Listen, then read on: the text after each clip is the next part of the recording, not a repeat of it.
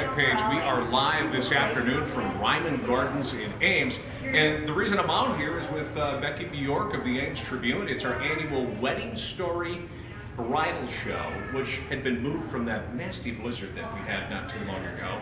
Um, and, and we got a beautiful day for this, for this event today, Becky. It is absolutely gorgeous, JD. Thank you.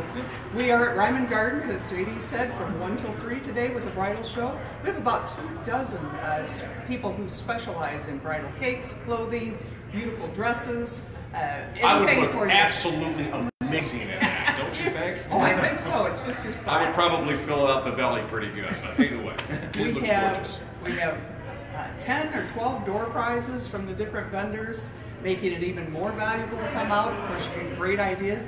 The grand prize is this beautiful diamond pendant from Riddle's jewelers and we're very excited to have that. In addition to visiting the vendors there's a space to get uh, beer wine uh, complimentary drink and some snacks and discuss the ideas that you have. So it's a beautiful day Come on out to Reiman Gardens from 1 till 3 today. So if you're here to plan, today would be a good way to get started, okay? I mean, think about it. Spring is already here. We don't care what Mother Nature tells us.